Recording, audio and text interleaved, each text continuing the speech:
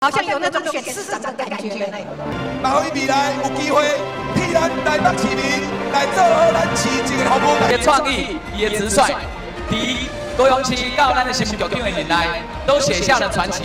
跟郑文灿、跟林佳龙一样，都是做过民进党执政时期的新闻局长，一定是我们民进党最重要的支柱。一定要达成我们共同的目标，就是翻转台北市的高下去。